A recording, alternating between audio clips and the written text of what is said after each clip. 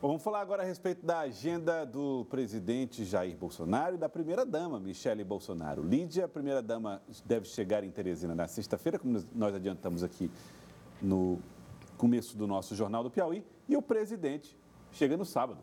É, está ocorrendo agora uma reunião com lideranças do Progressistas, lideranças do PL aqui do Piauí, porque eles estão definindo, Elivaldo, como é que vai ser essa programação do, da visita do presidente no sábado aqui no Estado. No grupo de, de WhatsApp do Progressistas, o ministro Ciro Nogueira enviou um áudio que eu recebi, o ministro falando que, é, propondo que o evento ocorra na, ali na Ponte Estaiada, a partir das 9 horas. Essa reunião que está acontecendo agora é para definir se realmente é, seria a melhor logística para a vinda do presidente no sábado, esse espaço ali na Ponte Estaiada, Joelson. Vamos acompanhar, porque você conversou com a deputada federal Iracema Portela, uma das articuladoras da da vinda de Michele? De Michele Bolsonaro. Ela fala do evento do, da, da sexta-feira né, com a primeira-dama Michele Bolsonaro, que assume a missão na campanha de Bolsonaro de falar para o público feminino. Vamos acompanhar.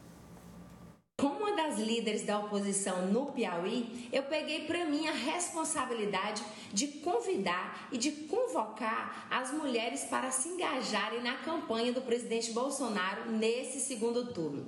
E a presença da primeira-dama Michele Bolsonaro em Teresina, nessa sexta-feira, dia 14, vai reforçar a importância da participação feminina nesse momento, porque existe um grande movimento nacional chamado Mulheres com Bolsonaro, que tem buscado mostrar as ações importantes em prol das mulheres que vêm sendo feitas pelo governo federal. Ações que precisam de continuidade para serem cada vez mais efetivas. Então é isso.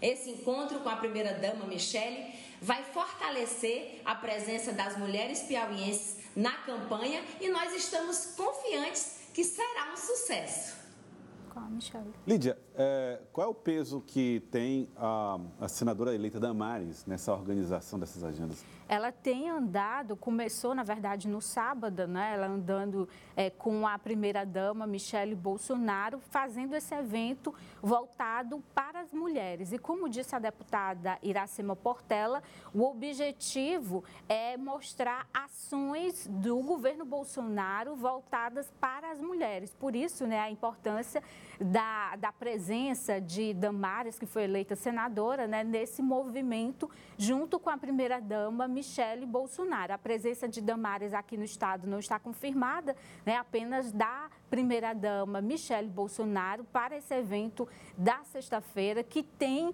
esse objetivo de buscar, nessa reta final aí do, do segundo turno, aproximar o presidente Jair Bolsonaro daquelas mulheres que ainda estão indecisas ou que estão avaliando a possibilidade de mudar o voto. Né? Então, o objetivo da campanha de Bolsonaro nesse momento é fazer um, um, um grande mutirão aí naquele sentido de virar o voto, ele conseguir o voto, principalmente do eleitorado feminino. No primeiro turno, as pesquisas mostravam que esse eleitorado era mais simpático ao projeto do ex-presidente Lula. Mas Bolsonaro acredita que Michele, é, por ser um, é, estar ligada diretamente né, à igreja, ao público evangélico, ela teria aí esse poder de diálogo com as mulheres, principalmente as mulheres mais ligadas né, a, a, a igreja evangélica, nesse sentido que ela faz essa defesa né, do discurso da família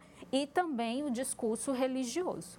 E o que esperar, Elivaldo, dessa dupla agenda, né? Primeira-dama e presidente Bolsonaro, sexta e sábado aqui no estado do Piauí? É importante. Né? No Nordeste, especialmente aqui no Piauí, passando pelo estado do Piauí, aqui existe um, um segmento que apoia o presidente Bolsonaro, apoia é, a reeleição do presidente, mas que o resultado eleitoral no primeiro turno ficou uma distância muito grande do adversário Lula. Então, investir é, né, em recuperar, reduzir essa diferença é sempre importante. E agora o casal, um no dia, outro um na sexta, o outro no sábado, primeira-dama na sexta e o presidente no sábado, não deixa de ser uma oportunidade para, eu diria, é, motivar a base, motivar a militância bolsonarista, até no local ali na Ponte Estaiada, um local que historicamente os bolsonaristas realizam as suas manifestações, é uma forma de manter acesa é, é, é o, o, movimento bolsonarista no Piauí e buscar um resultado que seja mais proveitoso é, neste segundo turno.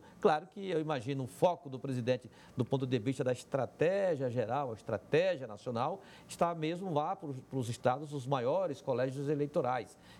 São Paulo, Minas Gerais, Rio de Janeiro. Ali serão colégios eleitorais que definirão as eleições no segundo turno. E ah, por que, que o presidente vem aqui no Piauí? Bom, o Nordeste é importante, é estratégico, ele dedicou inclusive o programa do Dia do Nordeste ao eleitor nordestino, então ele simboliza esse gesto na visita, ainda que rápida, mas na mensagem que fará é, pessoalmente aqui em Teresina no próximo sábado. E ele esteve em Belém, né? O Norte o Nordeste, as regiões onde Lula saiu bem à frente de Bolsonaro e ele sinaliza, Elivaldo, no fim de semana no norte e agora, né, com essa agenda aqui no Piauí, deve passar por outros estados aqui também da região nordeste, sinalizando para esses estados onde ele ficou bem atrás do ex-presidente Lula.